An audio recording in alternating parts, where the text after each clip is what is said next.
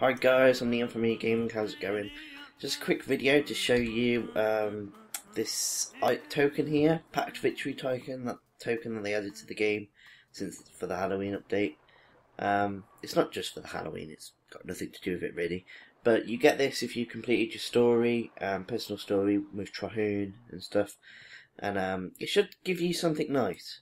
Well, yesterday it was bugged. You can actually go into the office where um, where that guy is, Hargrove, I think you have to go to.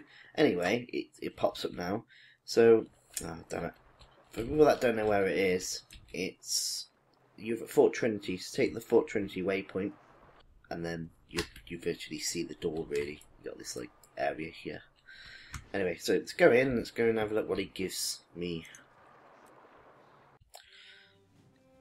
Oh, I hope it's something nice. I wonder if they're actually going to give you like a rare weapon or exotic. It'd probably be like green or blue, wouldn't it, really? But you do get a weapon.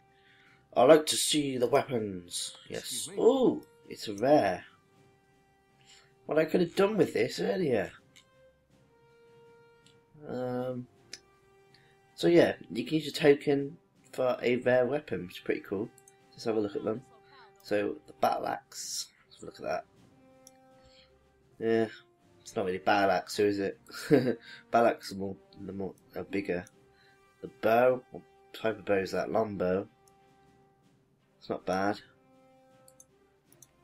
Um, short bow. The dagger. That looks alright.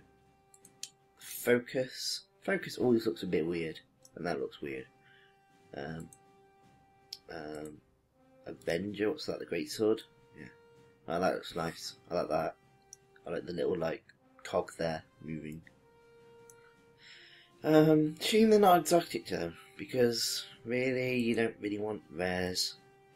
Oh, I do need a rare hammer. That'd be cool. Yeah, I might actually get that.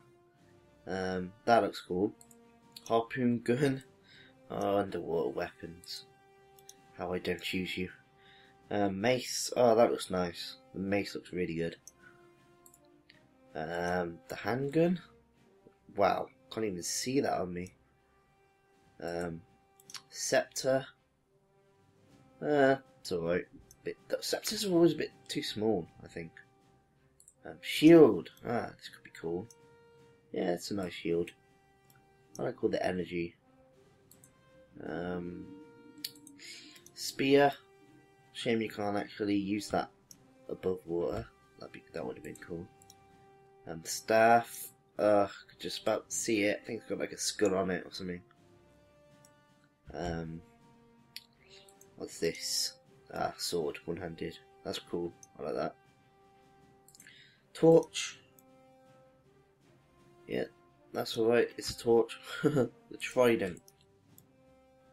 Yeah, it's nice as well. They're all nice weapons, really. And the horn. I like the blue effects on them. So I think I'm going to go for the hammer. So it's up to you what you pick. Um, they all come with the same stats, which is, or do they? Yeah, precision, vitality, and healing power. Mm, which is not, is a bit of a iffy one, you know. Healing power.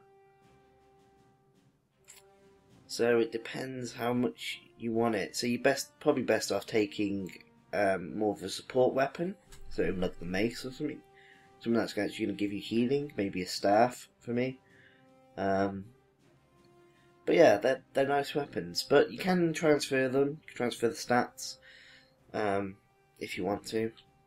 So yeah, that's the weapons, and that's what you get if you come to this guy here, Hargo Grove. Um, and I tried to do this yesterday, but it's bugged, but they fixed it.